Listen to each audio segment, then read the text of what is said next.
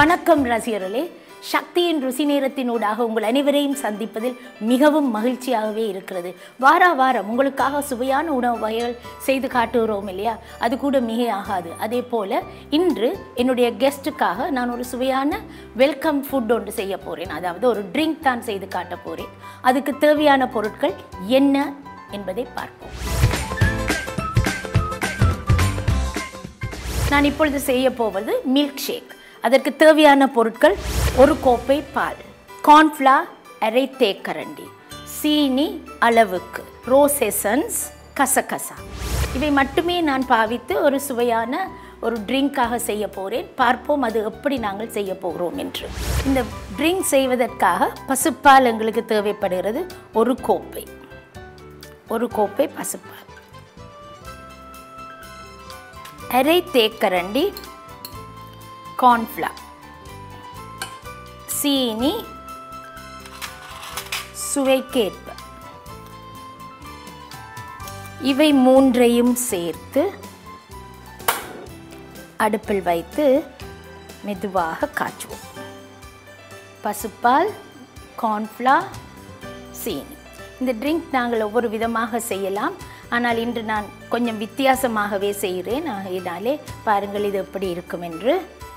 குளிரூட்டியில் வைத்தெடுப்பது தான் நன்றாக இருக்கும். நான் இப்போ இதை சுட வைத்திருக்கிறேன். இப்பொழுது அதற்கு நாங்கள் செய்ய போவது என்ன என்பதை பார்ப்போம். அடுப்பை நூத்த பின்னர் குளிரூட்டியில் வைத்தெடுத்தால் நல்லது. ரோஸ் எசன்ஸ் கொஞ்சம். இந்த கிளாஸை தண்ணீரில் தோய்த்து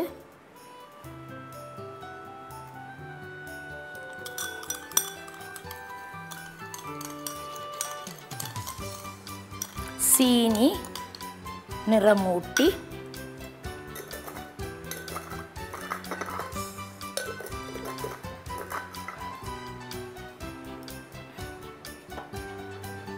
குளிரூட்டில் வைத்த பின் இதை பரிமாறுவது நல்லது.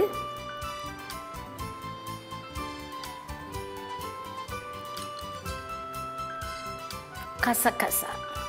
இது சிறிய கருப்பு நிறமாக இருக்கும். தண்ணீரில் இட்ட பிறகு கொஞ்சமாக அது நன்றாகவே விரிந்து பெரிதாகிவிடும். இப்பொழுது இந்த ட்ரிங்க் தயார். என்னுடைய கெஸ்ட்டுக்கு நான் கொடுப்பதற்காக இந்த ட்ரிங்கை நான் செய்திருக்கிறேன்.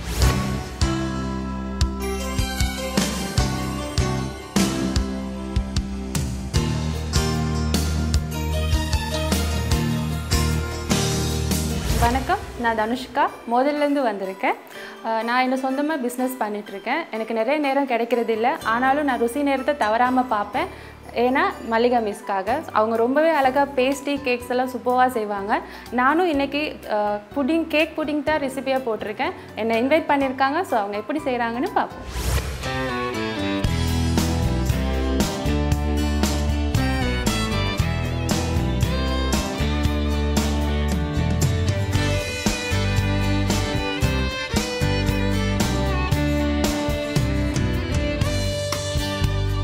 வெல்கம் ட்ரிங்க் தயார்.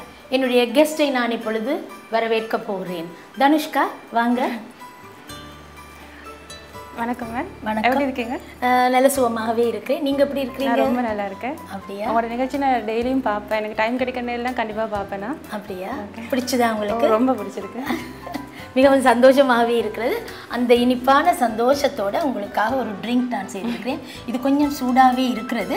உண்மையிலேயே இது குளிரூட்டியில் வைத்தெடுத்தால் தான் நன்றாக இருக்கும் நீங்கள் அதை டேஸ்ட் பண்ணி எனக்கு சொல்லுங்கள் பார்ப்போம் டேஸ்ட்டாக இருக்கா இல்லையா?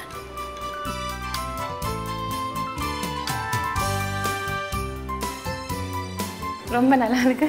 மிகவும் சந்தோஷம். தேங்க்யூ நீங்கள் தந்த ரெசிபியை தான் நான் இப்பொழுது செய்ய போகிறேன் அதாவது ஒரு கேக் கெட்டோ மாதிரி ஒரு கேக் தான் நீங்கள் கொடுத்துருக்குறீங்க. அதாவது அந்த கேக்குக்கு வந்து ரெட் வெல்வெட் கேக் பட்டர் கேக்கும் சேர்த்து தான் நீங்கள் கொடுத்துருக்குறீங்க.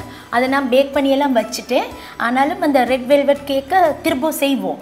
அப்போ தான் மெட்டவேலுக்கும் பார்க்க முடியுமாக இருக்கும்.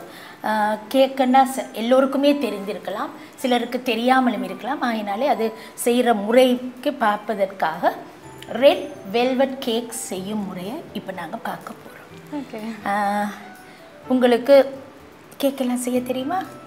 கொஞ்சம் கொஞ்சம் கற்றுட்ருக்கேன் கொஞ்சம் கொஞ்சம். சரி.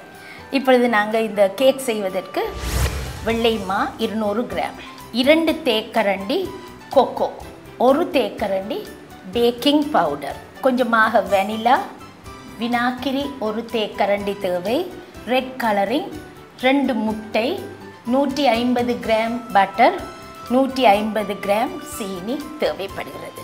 தனுஷ்கா இப்போ நாங்கள் இந்த இது பொருட்கள் எல்லாம் என்னவென்று எடுத்து விட்டோம் இல்லையா? ரெட் வெல்வெட் கேக் தான் இப்பொழுது செய்ய போகிறோம் அதை செய்வதற்கு முன்னர் ஒரு சிறிய பிரேக்குக்கு சென்று வருவோமா?